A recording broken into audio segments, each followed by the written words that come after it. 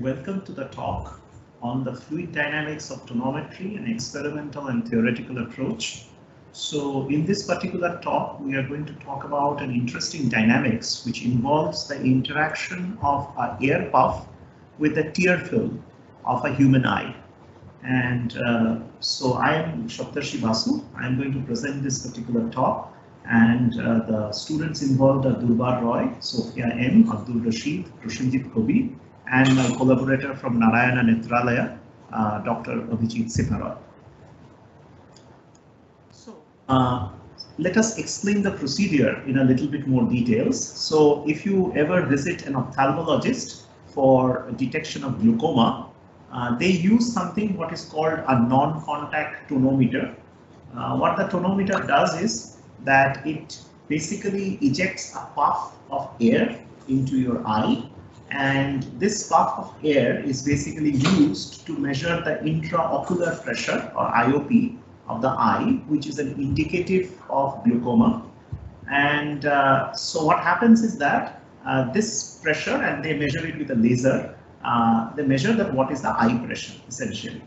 But uh, the hazard part of this particular procedure, though it looks contact free and it is very safe, is basically if your eye is teary, that means you have water in your eyes, watery eyes, uh, as this air puff interacts with a very thin tear film, which is of the order of uh, maybe a half a millimeter, the droplets are ejected out of that tear film, as you can see in some of the images uh, later on. So these images will show that there is a lot of ejection of droplets. Uh, this is done using scattering and fluorescence uh, by Frit et al. Uh, so what happens is that these aerosols can actually contain uh, the coronavirus or COVID-19 and SARS-CoV-2 and this might actually lead to the spread of the disease. So most of the studies up to date have always concentrated on uh, the, the overall input and the output part of this particular procedure, but nobody has got into the details that how these uh, droplets are actually ejected, what is the mechanism for the same, and how universal is this particular phenomenon. So in this particular talk, we are going to look at this in more details. So let me go to the next slide where it says, gives the overview of the entire procedure this is also available in the Gallery of Fluid Motion 2020, entry number 48. So feel free to watch it over there as well. So this is a video which will give uh, the audience an idea that how this particular uh, procedure actually works and what is the mechanism for the generation of the droplets.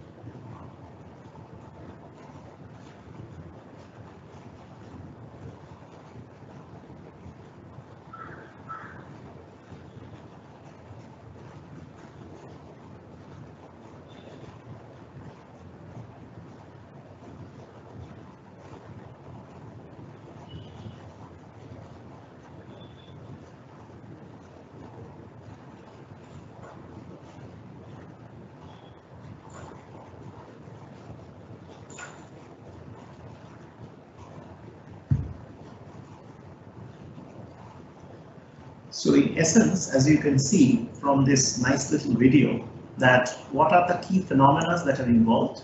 So if I have to put them in a, in a pictorial kind of an overview, what happens is that this is the experimental setup, which involves a non-contact tonometer, high-speed camera, light source, the laptop for data acquisition, and the tonometer operator and the human subject, or the cadaver eye, whichever one we are going to use for this particular measurement. Now, first, initially what happens is that as soon as you press the tonometer, there is an air puff which comes out of the tonometer nozzle. There's, there is a vortex ahead of it, and then there is a trailing jet. This particular vortex first interacts with the watery eye and leads to an initial sheet expansion. As you can see over there, the sheet expands due to the interaction of the vortex, as you saw in the video and in this particular picture, with the human eye.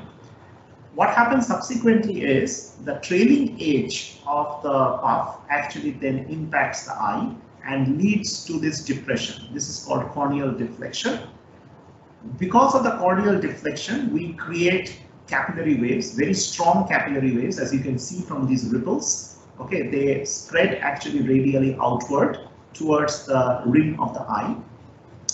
These capillary waves now combines with this initial sheet expansion that is already created and leads to a vigorous sheet expansion, which is called phase E in this particular work. This sheet now uh, in the and exhibits what we call the Rayleigh-Taylor instability. So as you can see, there is a Taylor rim and then these are the finger-like structures that are actually formed. These finger-like structures subsequently get stretched because of Rayleigh-Plateau instability and then they get detached and form these daughter droplets. These daughter droplets are the ones which are basically ejected with a certain velocity and they can infect uh, any human beings uh, around, or it can also form fomites, which basically droplets which impacts the surface. So this is in short the lifetime of this entire event, uh, which lasts for a few seconds only. And so the key feature to note over here is that there is an initial vortex expansion which leads to an initial sheet expansion. Subsequently, a trailing jet creates a depression of the eye, causes capillary waves, which leads to Rayleigh-Taylor uh, sheet expansion, which leads to subsequent uh, deformation and breakup of the ligaments into daughter droplets due to Rayleigh-Plateau instability. And these droplets are the ones which spreads the disease. So let us look at each of these phases, A, B, C, D, and E, and F in detail. So initially, as you can see, this is the vortex, which you can see. So this is the vortex, uh, this is the leading edge of the vortex, and then there is a trailing uh, jet. So the vortex is designated by this R1 and R2, which is the inner and the outer core of the leading vortex, and then you have the trailing jet.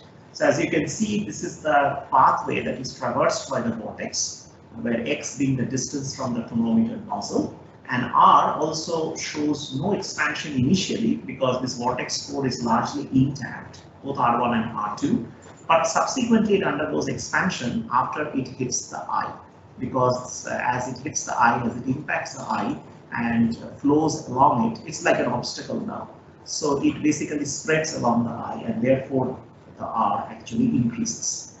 So the leading edge vortex travels at approximately 5 meter per second and it takes approximately 2 milliseconds to interact with the goat eye, cadaver goat eye or human eye, whatever may be the case.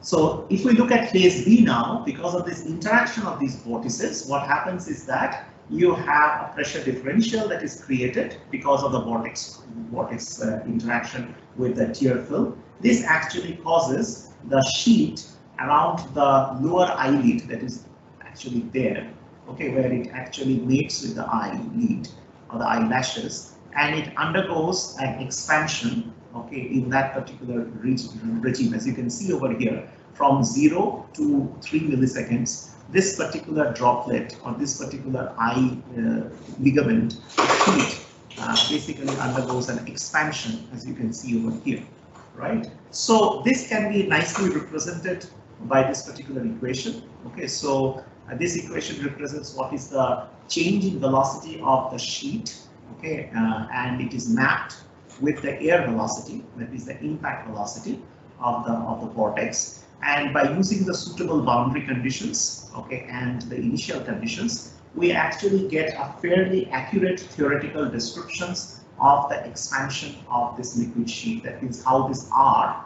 basically this R indicates the extent of expansion, how this R actually expands. That is how this R actually changes with time.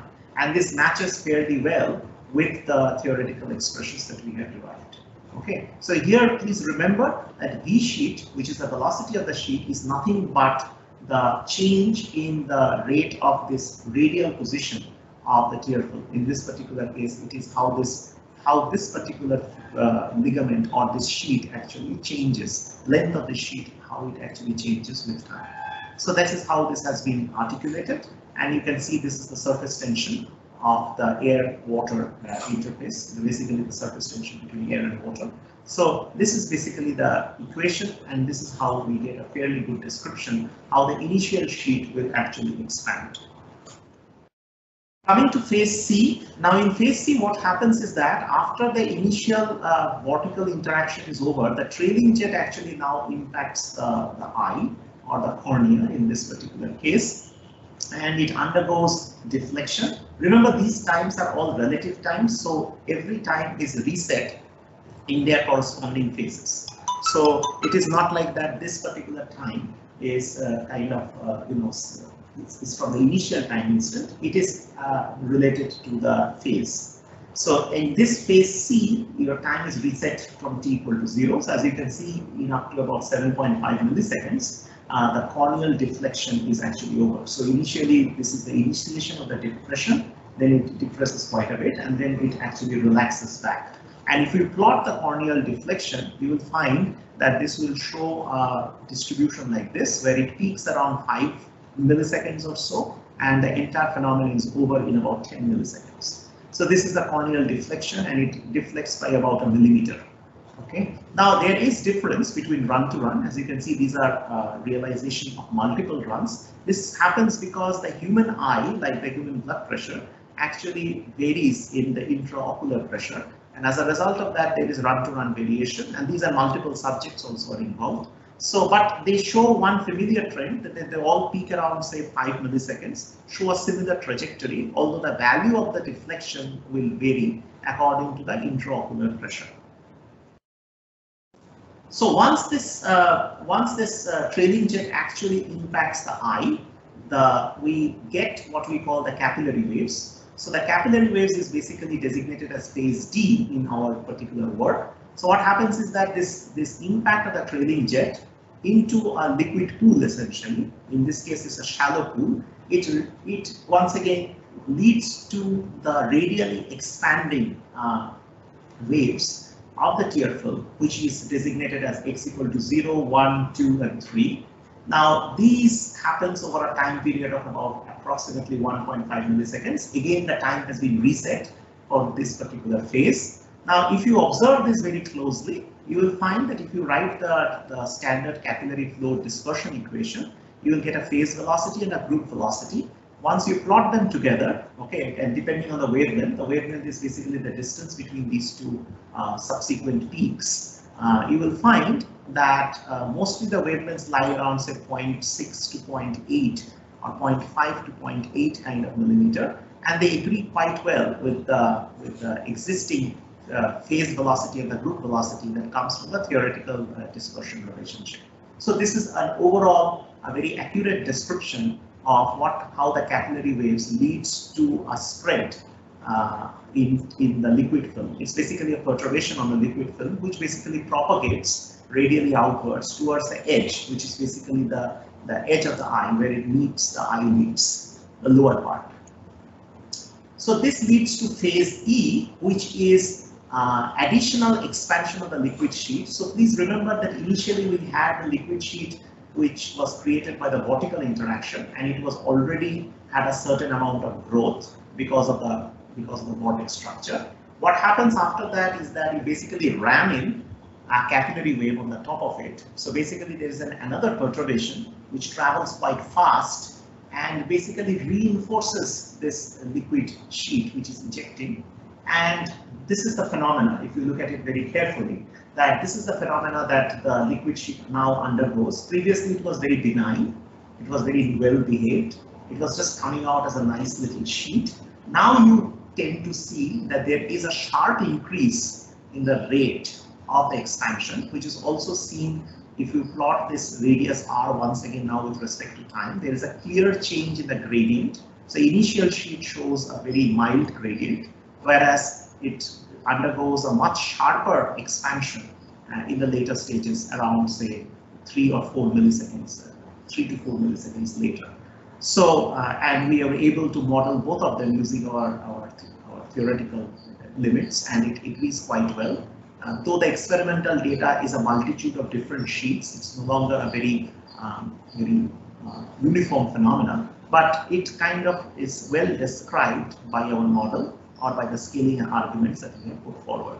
So this sheet now expands, uh, and as it expands, as you can see, it shows a lot of perturbations at the edge, and we will just look at these perturbations in the next slide What happens is that these perturbations are essentially Rayleigh-Taylor uh, instability. So again, once you uh, write the dispersion relationship for the Rayleigh-Taylor, you will find that there are three major components. One component one actually represents the, the relative velocity of the expanding sheet with respect to the surrounding airfield. Okay, the component two is the effective acceleration component, and so the effective acceleration that is encountered by this expanding sheet. And the, and the last one is basically the surface tension effect, which tries to pull the sheet back. So, uh, so the real part uh, of this dispersion relationship is given by this. So if you plot it, you can see for different rates of the velocity or the relative velocity of the uh, expanding sheet with respect to the surrounding airfield, 1 meter, 4 meter, 8 meter, whereas 4 and 8 are the most relevant to these particular studies. You can clearly see that there is a change in the wave number so it shifts more towards the right with the increase in the, in the velocity scale. Now, if you now plot the PDF of the distance between the fingers, as you can see, these are the fingers that are formed, which is a characteristic feature of a Rayleigh-Taylor instability. Now, these fingers, the distance between the fingers, if you just plot the PDF of that, basically plot all the probable distances between the fingers and plot it here, you will find that observationally we do get a slightly bigger band. The reason for that is that it's a multimodal kind of an expansion. But in the theoretical premise, if we are predicting somewhere around say 2.5 to 2.6 millimeter, where the peak should be, and it agrees quite well with the observational peak that we see from our experiments. Similarly, the time scale, the time scale, uh, which is basically the reciprocal of the growth rate, of these instabilities that is also plotted and you can see that the uh, once again the observational time scale is can vary anywhere between 0 to all the way up to 6 milliseconds. Though the peak time scale that is the most frequently encountered time scale is of the order of about 3 milliseconds or so which we saw in the previous slides as well. Now, the theoretical estimate estimates it's around 2 milliseconds, which given the complexity of the measurements, or given the complexity of the expansion, is quite a reasonable estimate of the same. So basically the sheet undergoes the Rayleigh-Taylor expansion, forms these fingers, which basically grows in order to um, uh, detach uh, into smaller droplets, as we will see in the next. Is F, which is basically the droplet ejection and uh, this ejection happens due to Rayleigh-Plateau instability. Once again, we can write a dispersion relationship for Rayleigh-Plateau instability, where, you know, uh, so T naught is the principal parameter, which is the initial thickness of the ligament, as we saw in the video also. And the tau of the Rayleigh-Plateau is basically the inverse of the maximum growth rate. So if you recall the Rayleigh-Plateau criteria, one can see that the length versus the width of the ligaments has to exceed pi this is the ligament breakup criteria where L is the length of the ligament. Now, if you plot this L by D or L by T naught, right, in this particular case, where D is basically equal to T naught, for multiple runs, so we have close to about 80 runs in this particular case, the blue line actually indicates the pi. So anything which is above this blue line should undergo breakup, which is indeed the case. The red points all shows that these are the ligaments that undergo breakup whereas the green ones are the ligaments which basically grows and then they will retract back because they don't satisfy the Rayleigh criteria. Similarly, if we look at the PDF now, that is the time scale for this particular breakup, you will find that the theoretical and the experimental time scales match quite well and it all shows a peak around say, 2 milliseconds or so. So this is approximately the phenomena, approximately the time in which the phenomena is over. You can see this is t equal to 0, this is t equal to 1.5 where the detachment actually happens. So close to 2 milliseconds is the order of this particular phenomenon. And as you can see, the dispersion curves actually notes that, okay, if you have a thinner ligament, thicker ligament, which is 0.43 or so, the, the, the growth rate of these ligaments is rather small, whereas if you have a, uh, have a ligament which has got a smaller uh, or a lower width uh, or initial thickness, it grows rather fast. So this expression also says now that after the Rayleigh creates the fingers, these fingers now undergo stretching and they undergo Rayleigh instability before detaching and forming these daughter droplets. Daughter droplets now subsequently, as you can see, they come out with a certain x and y velocities. Okay, as you can see in this particular rectangular component, if we just track a few droplets like this, and indeed we have tracked quite a few, and we find that the droplets are a little bit elliptical in shape. That means A and B are basically the major and the minor axes of the ellipse, so to say. And so basically the droplets do show some elliptical feature and uh, they come in all kinds of sizes. We get droplets which are sub-millimeter to all the way up to about 3 millimeter. But most of the droplet sizes lies around a millimeter in length, which is not strictly aerosols, but there are quite a few droplets in the lower uh, diameter range also in the range of 100 and 200 microns. Now these droplets now exhibit both x and y velocities. In this case, the directionality of the velocities are not very important because you can spread the droplets in all possible directions. You can see that their droplet velocity can become as high as about 3 to 4 meter per second and uh, in the positive or and in the uh, in the positive and the negative directions essentially. But most of the droplets actually share a velocity which is very close to zero, which is about 0.1 meter per second. So these droplets won't spread much and cause havoc. But the droplets which has a velocity of approximately 3 to 4 meter per second, and depending on their size, if they fall in this particular range, which is a lower droplet size range, they can actually cause significant amount of infection. In summary, what we have is that the entire phenomenon of tonometry, which is regularly used to measure the intraocular pressure in case of glaucoma, uh, basically can be uh, segmented into uh, many regimes. First regime will be the air puff ejection and traveling, then the interaction of the vortex with the with the eye tear film. It creates an initial sheet expansion. Subsequently, the air puff or the trailing jet impacts the cornea. This creates a capillary waves which reinforces the sheet and the sheet expands rather fast now, creating these finger-like structures, which is basically a Rayleigh-Taylor instability. This Rayleigh-Taylor instability causes these fingers, Rayleigh-Plateau instability and the subsequent inertia actually causes stretching of these ligaments and they form these droplets. These droplets subsequently can go and spread infection like COVID-19. So in short, this is what the summary actually looks like. Please feel free to uh, see the GFM video once again, which is available, which can give an idea or a pictorial description of the entire process. So in conclusion, we have uncovered the fluid mechanics during non-contact tonometry we have also established the mechanisms of different phenomena and the order of events in which they happen. The relative time scales and the length scales are important over here. The droplets are ejected and the droplet sizes can be anywhere between 100 micron to 3 millimeter. The 100 micron droplets can aerosolize and can cause uh, COVID infection. The droplet velocity scales is approximately 0.1 meter, but as we saw, there can be droplets which has a velocity as high as 4 meter per second. These droplets can act as carrier of viruses like SARS-CoV-2, which is basically uh, basically the reason why these procedures have to be carried out with extreme care. We like to acknowledge the Narayana Nethralaya Eye Hospital, Bangalore for providing us with a non-contact tonometer and their help in designing the experiments. We are also thankful for the funding received from the Defense Research and Development Organization Chair Professorship And so thank you for listening and we should be available to take any questions that you might have in the next uh, few minutes. Thank you.